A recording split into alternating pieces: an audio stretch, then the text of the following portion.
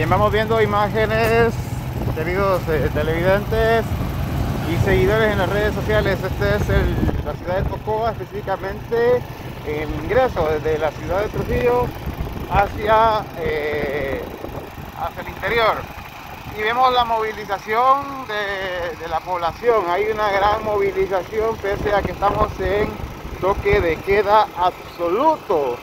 Pero no están acatando las autoridades, bueno, a las autoridades no están acatando la población en general este toque de queda. Como pueden ver, personas, familias que van desplazándose de un lugar a otro con total normalidad, eh, vehículos en gran escala que transitan en esta ciudad, motociclistas, como pueden ver, y en general la población, mucho pues, una parte del comercio eh, está trabajando.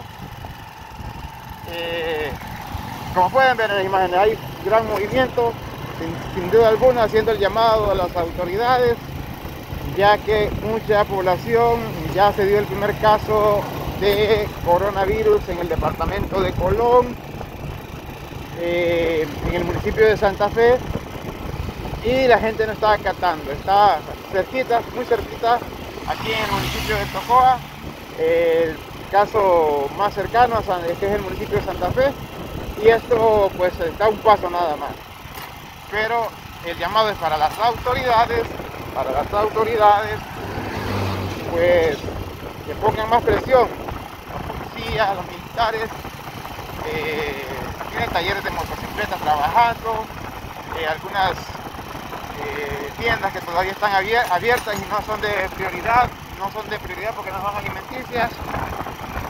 Y esto, esto es preocupante, señores.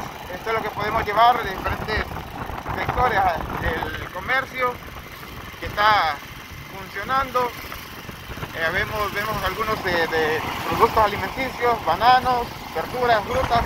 Esos sí podrían estar trabajando, pero con las medidas de seguridad correspondientes y no vemos que tampoco estén eh, utilizando las medidas de seguridad que se está exigiendo por parte de salud.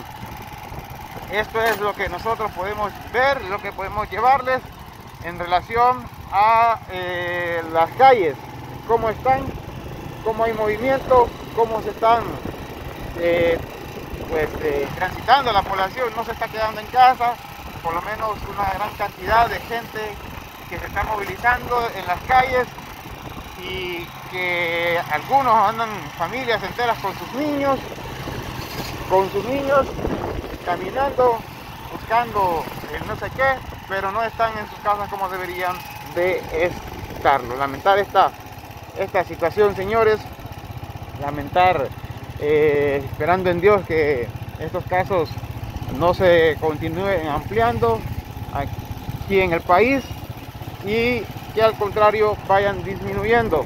Pero si no hacemos nuestra parte, va a ser mucho más difícil.